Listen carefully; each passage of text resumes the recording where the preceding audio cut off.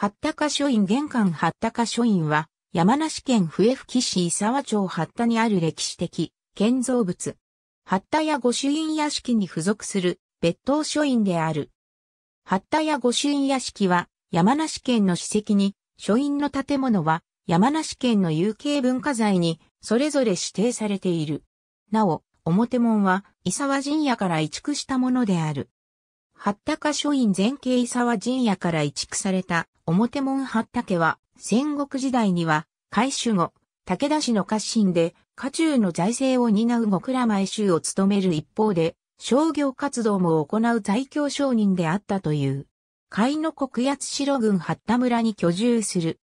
紅葉軍艦では武田家の大官衆として稲荘博士、諏訪春吉、八田村新、左衛門の城、松木競輪の4人の存在を記しており、このうち八田村新左衛門の城と松木競輪が会の商人として知られる。八田家の由来書によれば、春の武器の末木正成の子である、末木家重を始祖とする。家重は、勝頼期には、裏木の地を与えられ、末木姓を名乗ったという。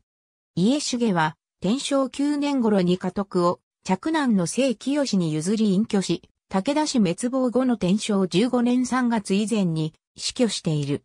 末木正明は、天正10年の武田滅亡後、海を漁した徳川氏に侵入し、慶長年間に八田制に服した。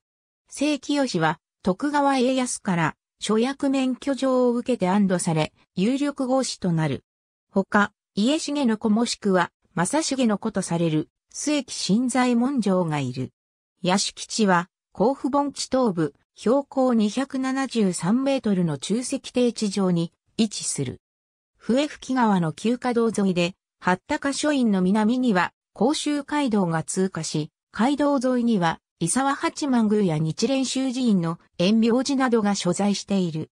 江戸時代の絵図によれば、八田家屋敷は規模が大きいものの、現在では多くの各群は宅地化されており、八田一の章や敷地が残る。屋敷跡は東西120メートル、南北150メートルの変形方形。周囲は堀、東側一部と北側には幅7から10メートルの土塁と堀が築かれている。屋根は茅葺きの入りも屋造り。屋敷内の邸宅などは武田氏滅亡の際に消失したという。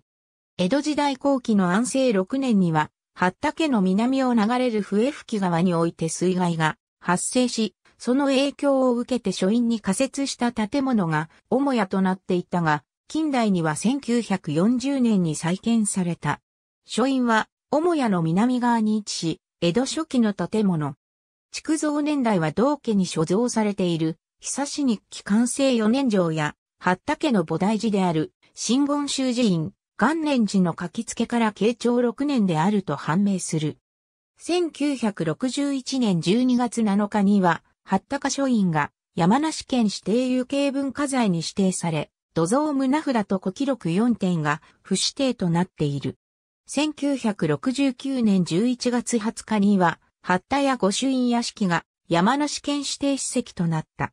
書院の間取りは西に、奥の間、中央に中の間、東に山の間の東西三列、及び玄関から構成される。総じて簡素な衣装であると評され、上級武士を招いた記録のあることから、接客や応対の場であったと考えられている。ありがとうございます。